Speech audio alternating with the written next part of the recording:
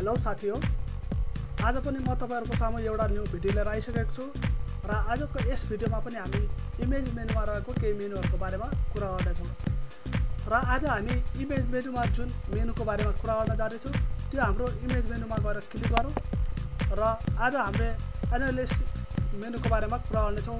जुन मेनु चाहिँ हामीले यो जुन हाम्रो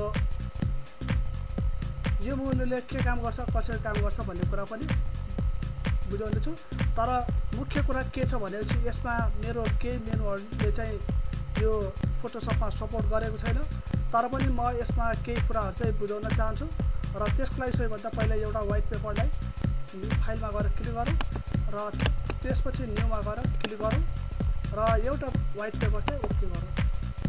र अब हामी गएर इमेज मेनुमा गएर कुरा गरौँ क्लिक गरौँ र त्यसपछि यसमा रहेको जुन मेनुहरू छ यसको बारेमा चाहिँ म तपाईँहरूलाई केही कुरा भन्न चाहन्छु यो मेनुहरूले चाहिँ मेरो फोटोसपमा सपोर्ट गरेको छैन र त्यसैले चाहिँ यो मेनुहरूको बारेमा मैले पुरा कुरा चाहिँ डिटेल्समा भन्न सक्ने गाह्रो भइरहेछ र यसमा मैले गरेर चाहिँ देखाउन नसक्ने अवस्था भइरहेछ किनभने यसले सपोर्ट गरेको छैन।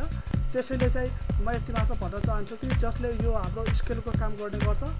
र हामीले कुनै पनि जस्तो हामीले अन्य पनि भिडियोहरूमा चाहिँ हामीले स्किलहरूको कुरा गरेका थियौँ र त्यसरी नै लगभग यसले पनि काम गर्ने गर्छ र हामीले कुनै पनि डाटाहरूलाई सिलेक्ट गर्नु छ र पोइन्टमा राख्नु छ भने हामीले चाहिँ यसबाट सजिलै गर्न सक्ने गर्छौँ र त्यसपछि हाम्रो जुन यो रेकर्ड मेसुरमेन्ट भनेर देखाइरहेको छ यसबाट चाहिँ हामीले जति पनि फाइलहरू जति पनि हामीले कामहरू गर्छ त्यसबाट यसको रेकर्डहरू चाहिँ हामीले सजिलै राख्ने गर् सक्छौँ यसबाट।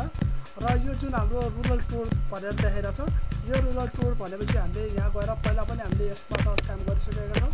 यहाँ चाहिँ हेर्न सक्छौँ हामीले यो रुरलको बारेमा मैले पहिला पनि एउटा भिडियो पठाइसकेको छु युट्युबमा। र यो रुलर र इमेज मेनुमा रहेको रुलरले चाहिँ हाम्रो लगभग सेमै काम गर्छ। र त्यसपछि हाम्रो यो जुन कन्टेन्ट टुल भनेर देखाइरहेको छ यो हाम्रो टुल्सहरू जति पनि छ त्यसको जति पनि फाइलहरू हाम्रो यो टुल्सहरू छ यो सबैको फाइलहरूको फोल्डर चाहिँ हाम्रो सेभ गरिएको फोल्डरमा चाहिँ हामीले जान सक्छौँ यसबाट। र यो त्यसपछि प्लेस सिलेक्ट मार्क भनेर देखाइरहेको छ। यो हामीले कुनै पनि प्लेसहरूलाई मतलब इमेजहरूलाई हामीले सिलेक्सन गरेर त्यसलाई मार्करबाट हामीले मार्किङ चाहिँ गर्न सक्छौँ त्यसबाट सिलेक्ट गर्न सक्छौँ। र यसमा मैले तपाईँहरूलाई पुरै गरेर चाहिँ देखाउन नसकेको कारणले चाहिँ म नेक्स्ट भिडियो कुनैमा पनि म तपाईँहरूलाई यसको बारेमा पुरा डिटेल्स चाहिँ बुझाउनेछु।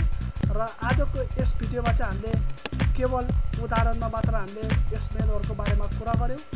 तर आशा गर्दछु कि म आउने भिडियोमा चाहिँ तपाईँहरूलाई यसको बारेमा पनि बुझाउनेछु। र आजको हामीले चाहिँ यस मेनुको बारेमा केही कुराहरू गऱ्यौँ।